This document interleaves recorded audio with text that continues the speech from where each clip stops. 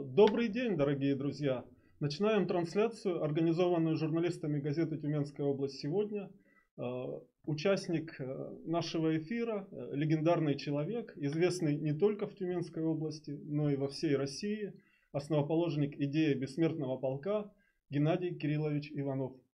Здравствуйте, Геннадий Кириллович. Здравствуйте, Геннадий Геннадий Кириллович, мы говорить будем сегодня не об этой идее, которая перевернула, по сути дела, сознание многих россиян. А, мы знаем, что у вас есть и другая а, общественная работа. Например, вы состоите в комиссии по переименованию объектов в городе Тюмени. И повод для нашей встречи а, среду вечером состоялось заседание комиссии по переименованию и принято решение Э, присвоить э, новой улице в районе озера Алибашевского э, имя разведчика Кузнецова. И вот расскажите, пожалуйста, об этом важном для нас событии. Ну, это немного не так. Это было уже по этой улице. Состоялось заседание еще 4 июня. И улицу в районе Алибашева озера назвали улица Николая Кузнецова. А теперь уже газета Тюменская область сегодня обратилась, потом ветераны э, обратились о том, что две улицы, как-то Кузнецова, потому что у нас уже есть улица Кузнецова, просто улица Кузнецова в районе бывшего драмтеатра. И если будет еще одна улица Кузнецова, начались споры. И предложили, вот газета Тюменского сегодня, другие предложили изменить название улицы Николая Кузнецова на другое наименование улица разведчика Кузнецова. Угу. Вот и обсуждали в среду поэтому этот вопрос. А, насколько сложно было принять такое решение? Я слышал, что существовало и другое мнение, да, что и, но тем не менее, большинством голосов такое решение принято. Да почти единогласно. Это я был против, кажется, вроде один, против того, чтобы... Но я знаю, что вот э, люди, жители домов, проживающих на улице Кузнецова, угу. они даже не знали, в честь кого названа их улица. Просто улица Кузнецова. Они считали, что это улица Николая Кузнецова. Угу. А это было, оказывается, еще в 1957 году переименовано 22 улицы и улицу Буденного угу. переименовали в улицу Кузнецова, просто Кузнецова, без имени. Мы даже толком не знаем, как его зовут. И когда подняли документы, выяснилось, что улица Афанасия Кузнецова, да, красноармейца. А, в документы я попросил в Совете э, топонимики секретаря, она мне дала выписку. Это не, там не написано Афанасий, там улица Кузнецов А.Н. Большевик, э, значит, начальник э, отдела труда, что ли, там, бреда советскую власть, в общем. А, а кто сказал Афанасий, это, кажется, Александр Петрушин, но я просто этого не видел в документе такого. Угу. Ну и вот жители, они тоже против были. Я знаю, что зам главного редактора вашей газеты Раиса Петровна Ковденко, она тоже не знала, что как называется, в честь какого Кузнецова названо. И теперь, если еще будет вот еще одна улица Кузнецова, хотя бы разведчика Кузнецова, все равно путаница будет. Я-то я представляю себе, что это. Не дай бог, если кто-то приедет в гости, водитель или такси скажет, на улицу Кузнецова. Не будет же они там разведчик, там не разведчик, а Кузнецова улица, его привезут на улицу Кузнецова mm-hmm. просто. Знаю, это... То есть вы считаете, что могут возникнуть э, Могут, сложности, обязательно да? будут, обязательно Но будут. если, например, на табличках будет указана улица разведчика Кузнецова, улица Афанасия Кузнецова, то есть... Э, ну, давайте тогда еще и адмирала Кузнецова. У нас много Кузнецов, фамилии распространенные, так что и будем называть... Есть вариант. Зачем называть улицу, когда можно назвать площадь? Площадь Николая Кузнецова. Не надо разведчиков. Для нас, для тюменцев, Николай Кузнецов это сразу ясно, кто это. Мы не на Камчатке живем, что там у нас с Николаем Кузнецовым, он и учился у нас в техникуме сельхоз. У нас с ним связано, как говорится, мы его э, чтим. Угу. И, ну, не знаю, почему бы не назвать площадь Николая Кузнецова. Я, например, предлагал переименовать площадь борцов революции площадь Николая Кузнецова, тем более обоснов... А, а, чем обосновал он площадь рядом с этим техникумом бывшим, где он учился. И он там гулял, он там, ну, это буквально здесь. Ничего, а, памятник борцов революции, никто на него не покушается, он также будет стоять. Геннадий Кириллович, сколько человек в комиссии состоит? Ой, я, я точно не знаю, сколько. Около 20 миллионов. О, так много. И тем не менее, почти все высказались. Ну, за... их большинства-то не было, э, полного -то состава не было, а да, большинство, в общем, выступили, что да, за разведчик Кузнецова. Ну, а если в целом э, поговорить в целом, уйти вот от этих небольших, может быть, замечаний и разногласий, да, в целом, как вы оцениваете, что в городе появится улица разведчика Кузнецова? Я говорю, что я противник этого. Я полностью за Николая Кузнецова, но это будет все равно, если люди, много лет живущие в доме Кузнецова 6, вот я Кузнецова 6, и то считали, что это названо в честь Николая Кузнецова. Что говорить о других? О других жителях, которые, ну, к этому вообще просто есть улица, есть разведчика там, не разведчика. Все равно будет путаница. Особенно те, кто приезжать будут в город если с, с улицы все. Тем более на доме. Я вот ходил возле этого дома 6, фотографировал. Прямо на одном доме, на одном э, здании дома 6. Табличка, указатель улица Кузнецова. Угу. Через 3 метра рядом, буквально 3,5 метра, улица Н. Кузнецова. Угу. Как? Угу. То есть э, какие ошибки допускают? Это не ошибки, это э, назвать серьезнее бы надо. Угу. Столько лет это все. Геннадий Кириллович, ну и заодно, конечно, я не могу не спросить и о других улицах. То есть какие еще новые улицы появятся в Тюмени? А я вот еще, знаете, хотел бы о чем сказать. Вот э, года три назад, что ли, когда у нас было переименование 100, около 150, кажется, улиц, ну, Антипины, Матмасы присоединили, что городская черта полностью стала. И тогда дубли э, улицы были ну, одинаково, школьных много строителей и прочее. И вот в Матмасах э, была улица Габдулы Тукая. И в Матмасах же была улица Мусы Джалиля. И в Тюмени, в Парфеново тоже улица Мусы Джалили и Габдулы Тукая. Надо было что-то изменять как-то, чтобы не было одинаково. Предлагали улицу в Матмасах Габдулы Тукая назвать э, э, в честь Сагдеева. Это бывший милиционер, который соображал груз, и его, значит, э, удавкой и в реку, в общем, нашли его тело. В общем, он погиб при исполнении служебного долга. Занесен на, дос, на мемориал его имя занесено. Нет, не назвали. Комиссия проголосовала против, и жители там что-то против якобы были. И назвали улицу улица поэта Габдулы Тукая, а там в Парфеново осталась улица Габдулы Тукая. И также Матмасах улица поэта Мусы Джалиля, а Парфенова осталась улица Мусы Джалиля. Ну это, я называю это маразм. Ну как можно? Это один, один и тот же человек. Давайте называть. У нас есть улица сейчас Александра Пушкина в Антипино. Давайте еще назовем улицу поэта Александра Пушкина. Давай назовем улицу Льва Толстого на улица. Давайте назовем еще одну улицу писателя Льва Толстого. Ну что это такое? У нас что, фантазии не хватает назвать? Наши герои соцтруда сколько? Предлагали Валентина Кобылкина, знаменитый был свинарь в 60-х, 70-х годах в Задуковском районе. Отказали, отказали. А называем улицы Липарисова, не Кипарисовая есть у нас в Тюмени. Липарисовая хотели, Родионовая. И вот, вот, ну не знаю. У нас героев сколько Советского Союза не названо улицы в честь них. Василий Давыдов есть. В центре жил. Геннадий Кириллович, ну все-таки расскажите, пожалуйста, о других улицах э, в Тюмени, которые получат... Э, ну, последний, на последнем заседании, но, значит, э, будет улица Воронинская гавань. Это очень название такое у нас стояли за это название, красивое название, историческое название, ну и немного не в том месте, где была эта улица Воронинская гавань.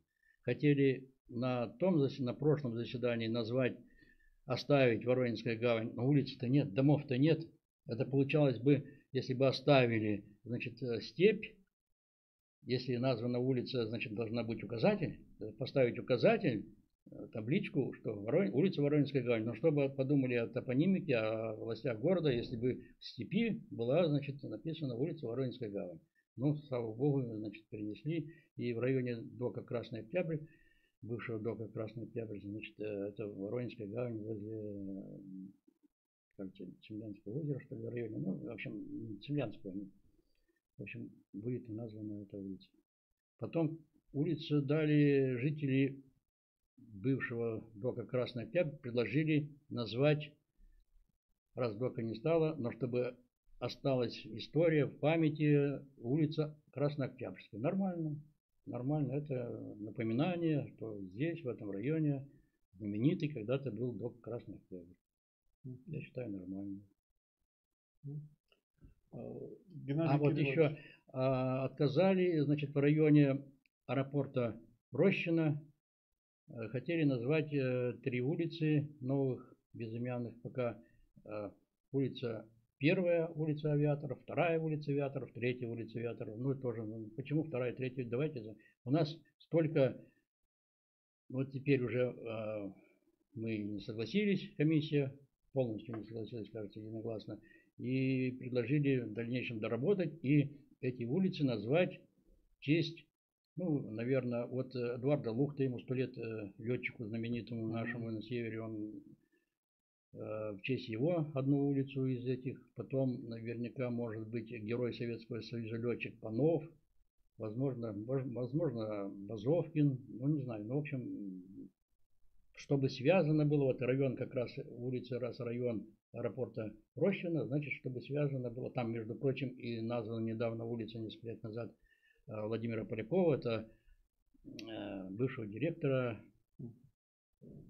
аэропорт, аэропорт Рощин. Рощин, да. Вот как раз здесь это все должны улицы как-то, чтобы было связано с этим, с авиацией. Геннадий Кириллович, я понял, что это очень ну, непростая работа, то есть э, стоять в такой комиссии. Я так понял, что у вас очень часто возникают споры, да. разногласия, часто, и часто. решения принять бывает очень непросто. Часто, согласен. То есть, э... ну, в общем-то, это нормально, нормально, я считаю. Угу. Но мнение-то у нас разное. Да, надо, и все мнения надо учесть, все точки зрения. Мне и... кажется, надо как-то подключать э, больше. У нас вроде как делается, если кто-то предложил назвать улицу, ну, в честь какого-то человека, ну, неважно, или города, или, или ну, цветочно, или прочее, э, в средствах массовой информации, в Тюменских, Тюменском курьере в газете, потом соцсети, это обращение к жителям, что, пожалуйста, подключайтесь и предлагайте свои, что согласны, не согласны. Ну и что? То один человек, то вообще никто нет. Видимо, надо, ну, не доходит до людей, видимо. Активности горожан нет, И активности горожан, может, до них не доходит. Надо какое-то, видимо, что-то другое предпринять, чтобы э, люди вы знали. Просто, вот, например, на 72 уж не так уж, что там что только напишет, Господи. Но все равно там уже, значит, идет э, в прямом эфире, как говорит, почти идет э, споры. Зачем так? Зачем это? Предлагают это? Ну, ну, хотя бы спор. А здесь, ну что, один высказался за или против высказался, все. Но есть же еще площадка Тюмень наш дом. Я, я решаю. И там можно да, ну, выносить на голосование вопрос. Ну, там голосование тоже. Кто проголосовал? Ну почему бы говорят вот персональные данные? Ну какие персональные данные? А если он человек проголосовал за или против, и что? Ну обоснуй mm-hmm. ты свое, mm-hmm. почему ты за и почему ты против. А то за и против. Ну что это? Mm-hmm. Это не голосование, это... Это статистика. Ну, это так. Mm-hmm. Э, в гостях э, в студии Тюменской области сегодня э, был Геннадий Кириллович Иванов. Геннадий Кириллович, вам спасибо большое. Спасибо то, и вам. Вы пригласили. Спасибо.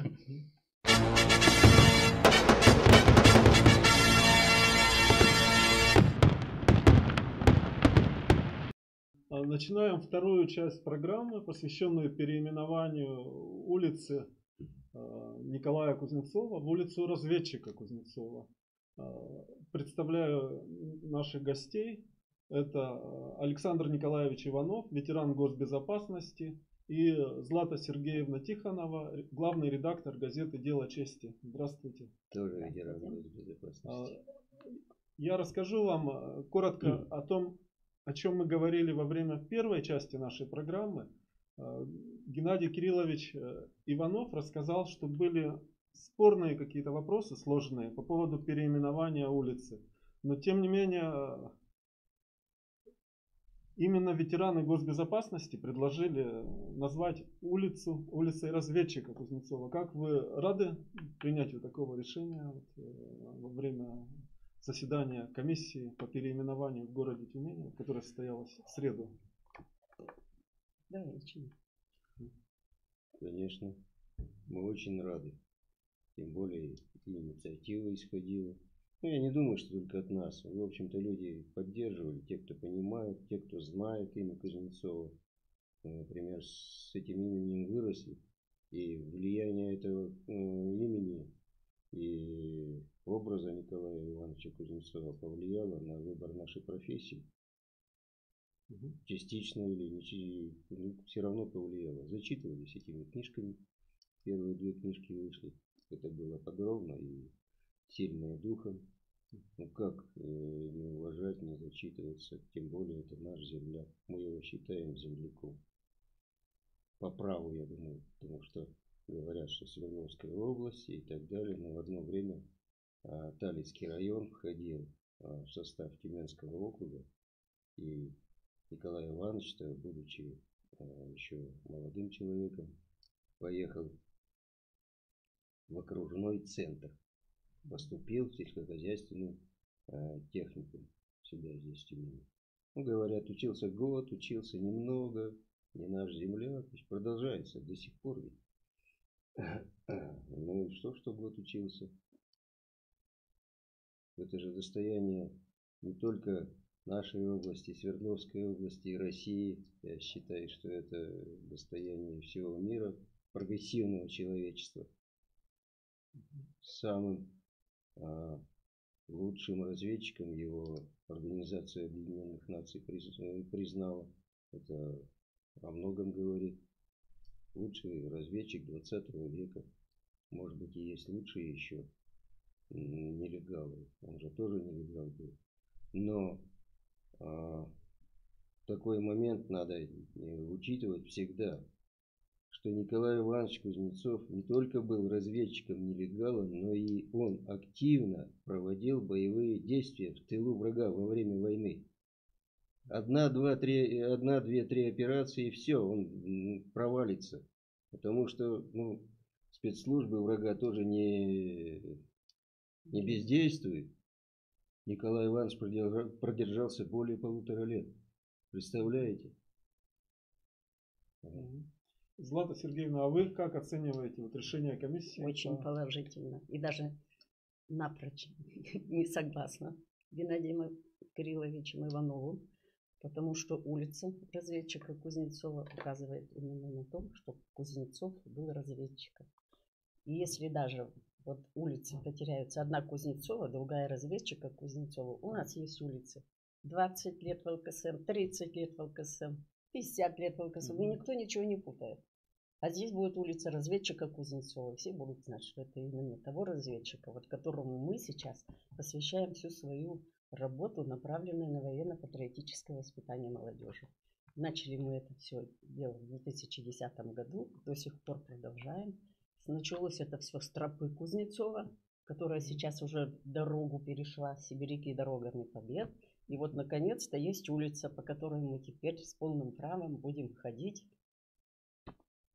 и просто восхищаться его подвигами.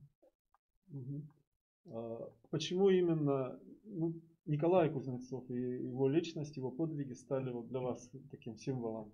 Для нас это стало символом, потому что мы все воспитаны на подвигах его, Николая Кузнецова, читали все книги его, все фильмы, тем более, что недалеко здесь находится музей внешней разведки имени Николая Ивановича Кузнецова в Талице. И все наши школьники в советское время ездили туда на экскурсии, даже пешком ходили, на лыжах ходили. И очень почитали имя его, переписывались со всеми его соратниками. Ну, а теперь, когда ему 11 июля, 27 июля 2011 года исполнялось 100 лет, вот с этого времени мы начали вот эту работу. Вот э, в конце июля в Тюмени э, в здании Аграрного университета Северного Зауралья проходила конференция, посвященная как раз дню рождения Николая Кузнецова. И именно там была высказана вот эта просьба о переименовании улицы да, в улицу разведчика Кузнецова. Э, и сейчас вот эта просьба услышана. И я, Злата Сергеевна, знаю, что готовится новая конференция. Да? Не могли бы вы рассказать э, об этом мероприятии? У нас сейчас вот 26 сентября будет тоже конференция в городе Талица, там, где он учился, близ которой родился, на которую приглашаются ветераны госбезопасности всего Уральского федерального округа, Челябинск, Курган, Тюмень, Екатеринбург, и там мы снова будем говорить о его подвигах, о его жизни. Туда соберутся дети. Между прочим, в городе Талица уже есть классы разведчиков. Вот они образовались 4 года назад, сейчас они учатся в четвертом и восьмом классе. У них там очень интересные отряды разведчиков, потому что значит, первый класс, например, и четвертый. И вот вместе с родителями они ведут вот этот вот класс разведчиков. Тоже проводит всяческие мероприятия. И вот когда мы им сказали, что у нас уже улица называться будет разведчика Кузнецова, вот они высказали прямо этим восхищение. Очень рада были.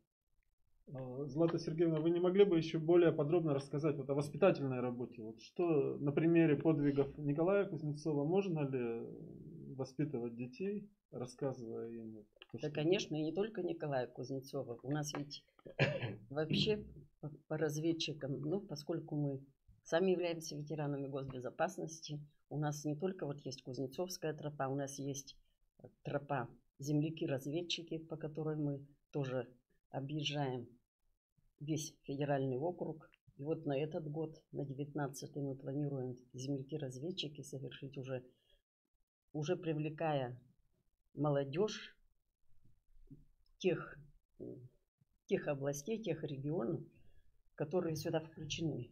И поэтому каждый, каждый совет ветеранов выбирает себе какие-то школы, какие-то значит, классы, там может кадетские классы.